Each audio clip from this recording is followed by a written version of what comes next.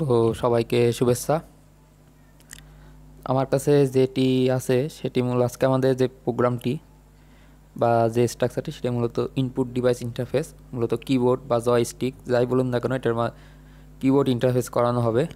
আর এটি মূলত এখন আর PIC sixteen F eight double seven four index নাই, এখন মূলত আরডিনো ইউনোর প্রোগ্রাম চলে আসছে সিলেবাস অনুযায়ী। তো আমরা দেখি যে এই যে কিবোর্ডটা এই কিবোর্ডের অভ্যন্তরীণ গঠনটা নিয়ে একটু আলোচনা করি। আর এর পাশে যেটা সেটা হচ্ছে আরডিনো ইউনো তো কিবোর্ড যেটা সেটা হচ্ছে মূলত ডট ম্যাট্রিক্স কিবোর্ড কলাম বরাবর পজিটিভ রো বরাবর নেগেটিভ বা রো বরাবর নেগেটিভ কলাম বরাবর পজিটিভ এভাবেই মূলত কিবোর্ডের যে বাটনগুলো ইন্টারফেস থাকে আর যে লিমিটেড রেজিস্ট্যান্স আপনাদের দেখাইছিলাম, ওগুলোর মাধ্যমে কারেন্ট লিমিট করা হয়। না হলে অতিরিক্ত কারেন্টের ফলে মাইক্রো কন্ট্রোলার ড্যামেজ হতে পারে। তো এখন আমরা আমাদের ডায়াগ্রামটি ওপেন করি। তো সাধারণত ডট ম্যাট্রিক্স কিবোর্ডের উপরের থাকে রো নিচে থাকে কলাম তবে কিছু কিছু ব্যতিক্রমগুলোতে নিচে থাকে কলাম আর উপরে থাকে রো তো আমি যেটা করতেছি সেটা হচ্ছে ম্যানুয়াল ডায়াগ্রাম মূলত আর্ডিনো ইউনোতে অনেক সহজেই সংযোগ করা যায়। কিন্তু আমি যে ফিজিক্যাল কানেকশনটা দেখাচ্ছি, সেটা মূলত অ্যাটমেল থ্রি টু এইট পির সাথে এই কিবোর্ডগুলো কীভাবে কানেক্টেড থাকবে। পূর্বে আমরা দেখছিলাম PIC sixteen F eight double seven এর যে ক্রিস্টাল ছিল, এটা আমরা বিশ মেগাহার্স ইউজ করছিলাম আর এবার আমরা ইউজ করছি ষোলো মেগাহার্স যেহেতু ডাটা শিটে ষোলো মেগাহার্সই ইউজ করতে হয়। আর এগুলো হচ্ছে আমি আইও পিনের সাথে, মূলত মাইক্রো কন্ট্রোল আইও পিনের সাথে আমি এই কিবোর্ডটা কানেক্ট দিছি। আমি এখানে একটি কিবোর্ডের মতো একটা ডিজাইন করছি, যেটি হচ্ছে four into four matrix keyboard বা ডট ম্যাট্রিক্স কিবোর্ড প্রথম চারটা কলাম আর নিচের চারটা রো এইভাবে আমি ইন্টারফেস করছি। তারপরে আমি এখানে কোনো ডিসপ্লে কানেক্ট যেহেতু করি না আমি এটা সিরিয়াল মনিটরে দেখব। মূলত কম্পিউটারের সাথে সিরিয়ালে কানেক্ট থাকে, যে কারণে ডাটা আদান প্রদান করেই ডিসপ্লেতে দেখা যায়। তো এগুলো আমি দেখাচ্ছি আস্তে ধীরে।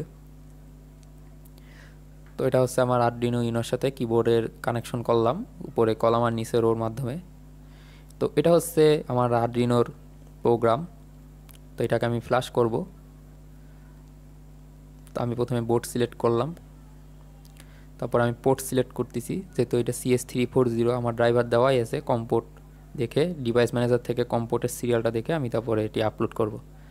প্রথমে এটি কম্পাইল হয়, তারপর এটি আপলোড হয়। তো দেখুন, এখানে আমি কলাম আর রো ইন্ডিকেট করে দিয়েছি।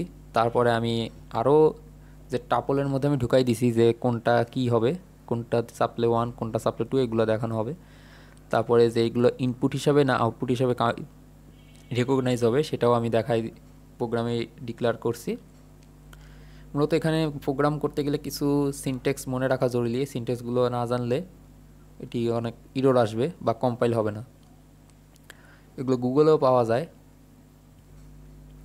তো আমার এটা কম্পাইল হয়ে গেছে আপলোডও হয়ে গেছে। এখন আমি সিরিয়াল মনিটরের মাধ্যমে সিরিয়াল ডিবাগের মনিটরের মাধ্যমে আমি আপনাদেরকে এটি দেখাচ্ছি যে আমি কি কি করতেছি।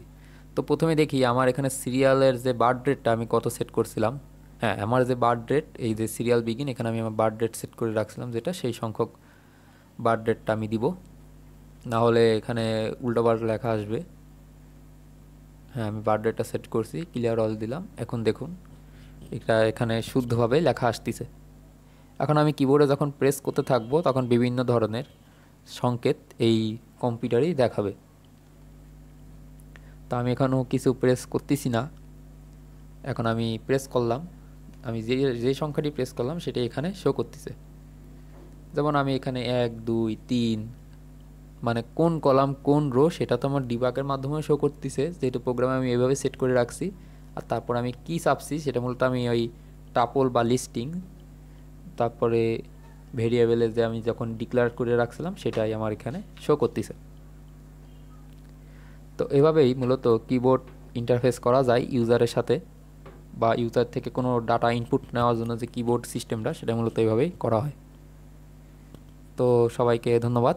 আমার এই ভিডিওটি শেষ পর্যন্ত দেখার জন্য।